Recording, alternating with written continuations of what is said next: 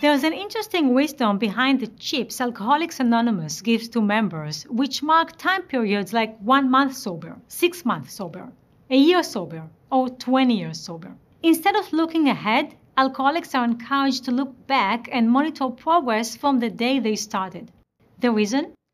There was no victory day for winning that battle, making it hard to monitor progress toward the goal.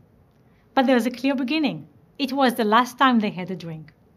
When they look back at that time, they see progress. Ultimately, when we see progress, our mood improves, as does our motivation. When you see the finish line, you experience fast progress and your motivation spikes. You might be highly motivated to make the last payment on debt or finish the last step toward earning a diploma. Even rats run mazes more quickly when they are about to reach the cheese.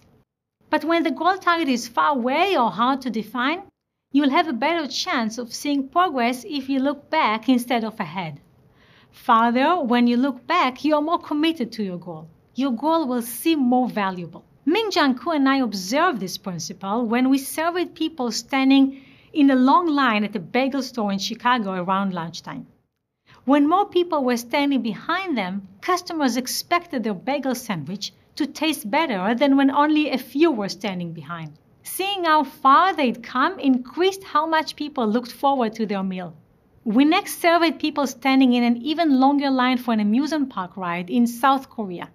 We only approached those standing in the middle of the line and asked them to either look back or ahead. When we asked people to look back and see how far they'd come, how many people were behind them, they'd expected the ride to be more fun than those we asked to estimate how many were ahead. The lesson?